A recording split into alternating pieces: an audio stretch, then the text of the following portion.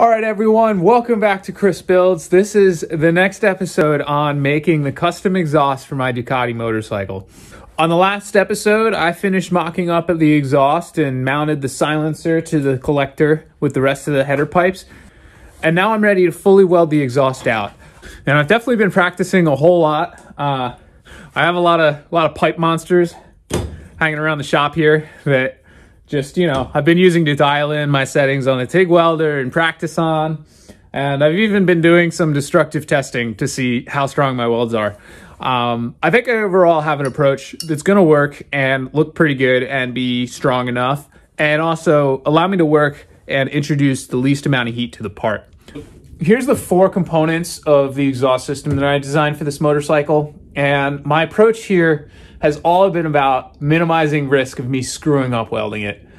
There's about 400 linear feet of welding to do on here. And if I overheat the part or if it warps and distorts too much, it's not gonna fit on the bike again.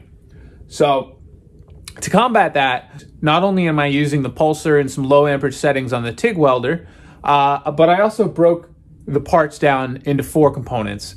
By breaking the exhaust system down into four different components, I can weld each one individually and make small tweaks and adjustments as I go if I need to. That's my approach. Honestly, it may all be a crapshoot anyway, but let's get started and see how it goes.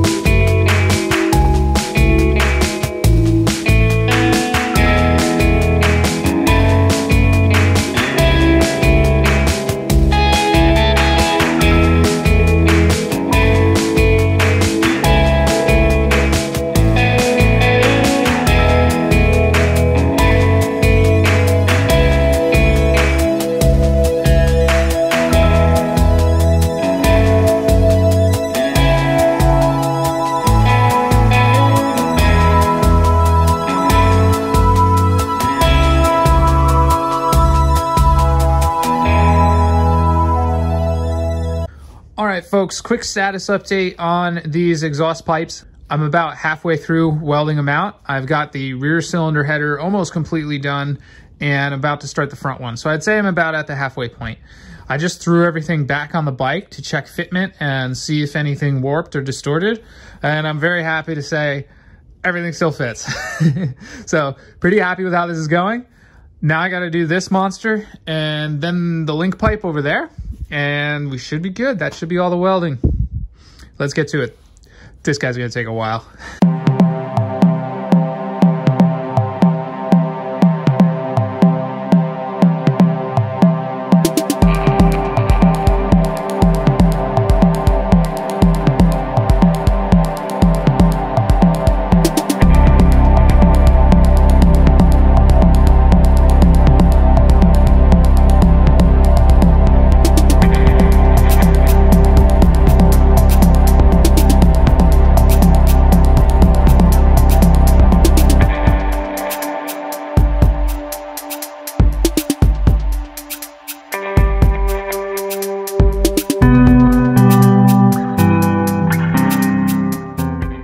Okay, I'm about halfway through welding the front header pipe. I got this portion remaining to go. This nice top portion all complete, all the way back to there.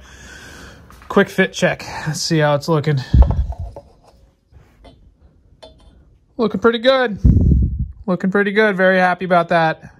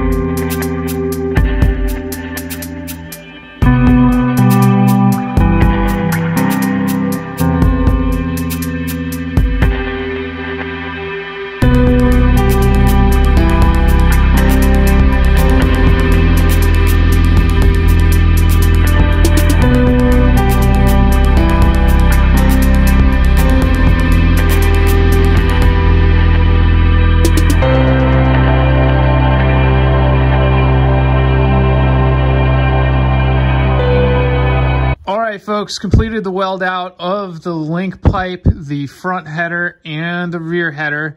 And I knew this was going way too well to not have warpage and distortion. Sure enough, here we are. We got all the way to the bottom header here. And my front header doesn't line up the collector anymore. Fortunately, I think I have a pretty easy plan to fix this. I'm just going to cut this here remake this piece with a slight angle on it so that it lines up with the collector better. All in all, not too bad. I can fix this.